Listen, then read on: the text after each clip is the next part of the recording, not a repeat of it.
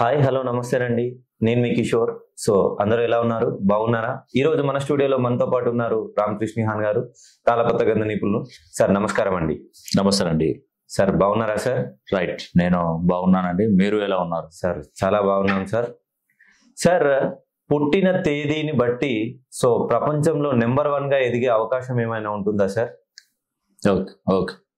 తప్పకుండా. ఎందుకంటే పుట్టిన తేదీని బట్టి కంపల్సరీ ఉంటుంది. ఓకే.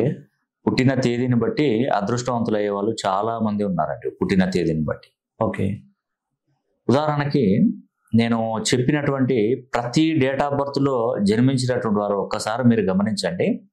నేను common men date of birth ఎందుకు చెప్పట్లేదు అంటే ఒక ప్రముఖ వ్యక్తుల డేట్ ఆఫ్ బర్త్లో తీసుకొని చెప్తేనే ఆ డేట్కు ఉన్నటువంటి పవర్ అనేది అర్థమవుతుంది. ఓకే. ఇప్పుడు టాప్ నంబర్ వన్గా ఉన్నటువంటి తేదీలు కొన్ని ఉన్నాయి. ఎస్ సార్ అంటే ఒకటి నుండి ముప్పై ఒకటి వరకు మనకు తేదీలు. అవును. ఈ తేదీలలో టాప్ నంబర్ వన్ తేదీలు అంటే వన్ సిరీస్ సంబంధించినటువంటి తేదీలు. ఓకే. ఒకటో తారీఖు కానీ పదో తారీఖు కానీ పంతొమ్మిదో తారీఖు కానీ ఇరవై ఎనిమిదో తారీఖులో జన్మించినటువంటి వారు కానివ్వండి. ఓకే. ఒకటి పది పంతొమ్మిది ఇరవై ఎనిమిది ఇదంతా సూర్యునికి సంబంధించినటువంటి సిరీస్. ఓ. సూర్యునికి సంబంధించినటువంటి సిరీస్. దీంట్లో మనం మన భారతీయుడు ఒక వ్యక్తి గురించి మనం చెప్పుకుందాం. ఓకే. మనకు ధీరుభాయ్ అంబానీ రిలయన్స్ గ్రూప్ అధినేత. ఎస్ సార్ ధీరుభాయ్ అంబానీ ఉన్నారు. Hmm. తను పుట్టినటువంటి డేట్ ఆఫ్ బర్త్ వచ్చేసి పంతొమ్మిదో తారీఖు నాలుగో నెల పంతొమ్మిది వందల యాభై ఏడులో జన్మించాడు ధీరుభాయ్ అమ్మాయి ఆ అబ్బాయి వాళ్ళ ధీరుభాయ్ అంబానీ వాళ్ళ కొడుకు ముఖేష్ అంబానీ.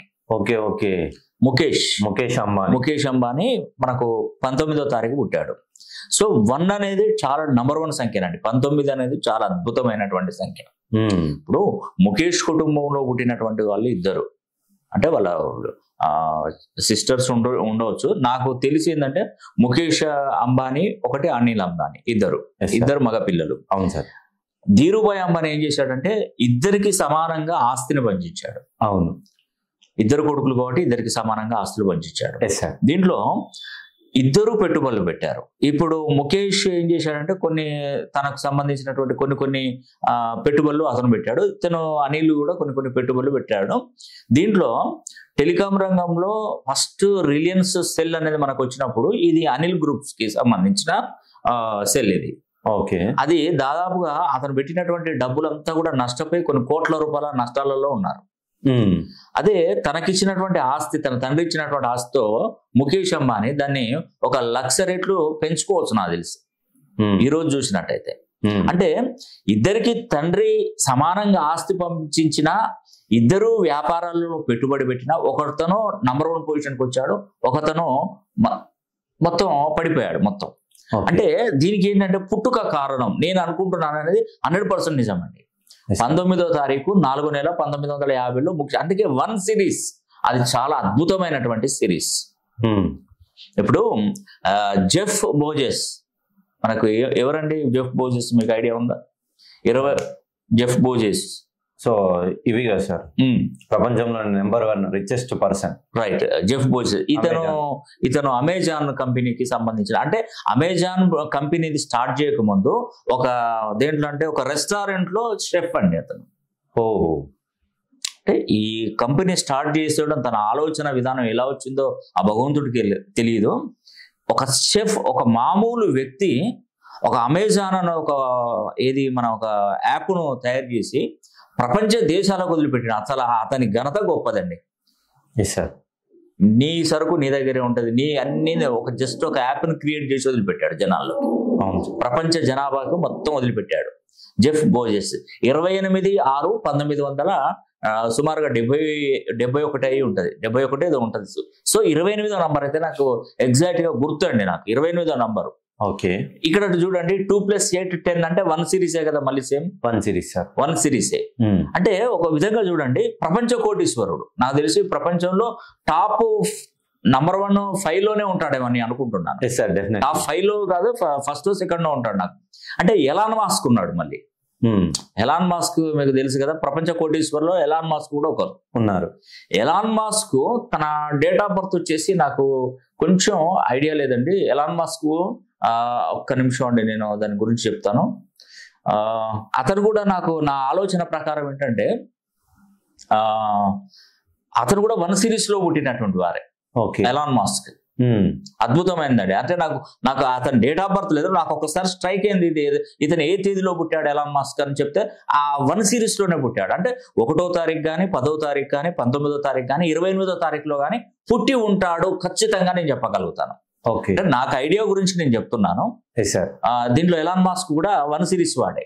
తర్వాత ఇక్కడ మనకు Google CEO Sundar Pichai yes sir తన డేట్ ఆఫ్ బర్త్ కూడా పదవ తారీఖు ఆరో నెల పంతొమ్మిది వందల డెబ్బై రెండులో తను జన్మించాడు సుందర్ పిక్షయ్ తను ఏ, మన ఈ మన ఇండియాలోనే చదువుకున్నాడు ఫారెన్లో సెటిల్ అయ్యాడు అసలు మామూలు కాదండి.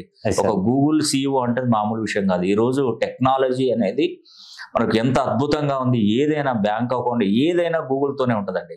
ఎంత పెద్ద ప్రాజెక్ట్ అయినా గూగులే హ్యాండిల్ చేస్తుంది. అవును సార్.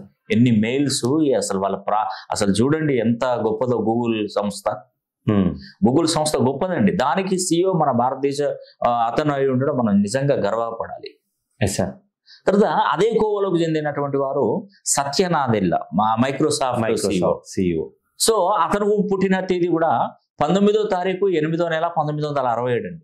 ఎస్ సార్ ఎక్సలెంట్ తర్వాత బిల్ క్లింటన్ కూడా అదే నాకు తెలిసి నేను అనుకున్న దాంట్లో ప్రపంచ కోటీశ్వర్లో బిల్ క్లింటన్ కూడా ఉంటాడు నాకు తెలిసి. ఓకే. అతను కూడా వన్ సిరీస్ వర్గానికి సంబంధించిన వారే. అంటే ఒకటో తారీఖు పది పంతొమ్మిది ఇరవై ఎనిమిదో తేదీలలో జన్మించినటువంటి వారికి అదృష్ట యోగం పడుతుందండి. నేను చెప్పేది. అయితే దీంట్లో ఒక మెయిన్ ప్రాబ్లం ఏంటంటే ఈ వన్ సిరీస్లో జన్మించినటువంటి వారికి డెస్టినీ నంబర్ ఆరు కానీ ఎనిమిది కానీ అయితే కొంత నష్టం వాటిల్లే అవకాశం ఉంటుంది. అది గుర్తుపెట్టుకోవాలి. ఓకే. మరి ఈ చాలా మంది అనుకుంటారు అయ్యో నేను వన్ సిరీస్లోనే పుట్టాడు ఒకటి పది పంతొమ్మిది ఇరవై ఎనిమిది తేదీలో పుట్టాను. డేటు మంత్ ఇయర్ మొత్తం కూడా ఆరు కానీ ఎనిమిది కానీ రాకూడదు.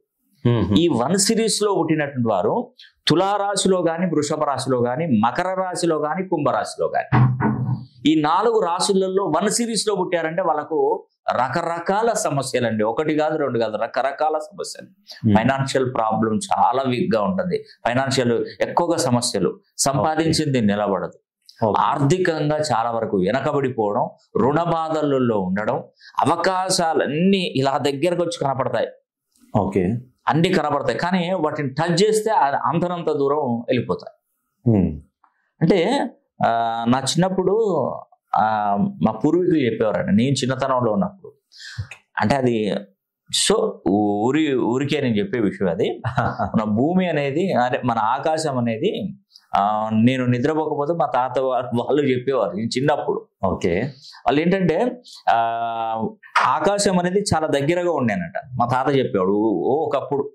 చిన్నప్పుడు ఉమ్, ఉమ్. ఆకాశం ఉంటే ఎవరో కుండలో నీళ్ళు ఎత్తుకొని పోతుంటే ఆకాశం ఒడ్డొచ్చిందని దాన్ని ఇలా అంటే పైకి వెళ్ళిపోయిందంట ఓ. ఇవన్నీ పూర్వ కథలు ఇవన్నీ. తాత ముత్త. అంటే ఇట్లా టచ్ చేయగానే అది వెళ్ళిపోతుంది అన్నట్టు ఆకాశం అంత దూ అందనంత దూరం ఎగిరిపోయిందని చెప్పారు. ఓకే. అంటే ఇక్కడ విషయం ఏంటంటే అవకాశాలన్నీ ఇలా దగ్గరగా వస్తే ఇట్లా టచ్ చేయగానే అది వెళ్ళిపోతుంది. ఓకే.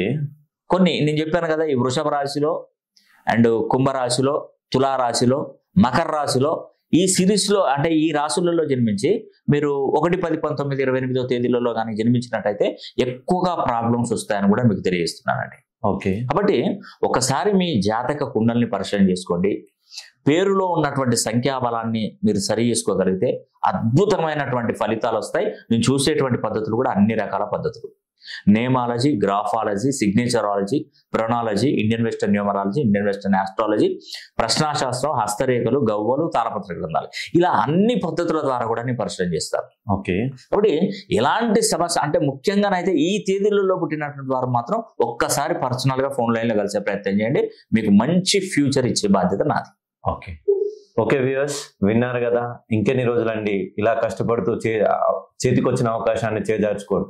సో వెంటనే మీ పేరులో ఉన్న సంఖ్యాబలాన్ని సరి చేసుకోండి. సో ఆ అవకాశాన్ని సద్వినియోగం చేసుకోండి. Thank you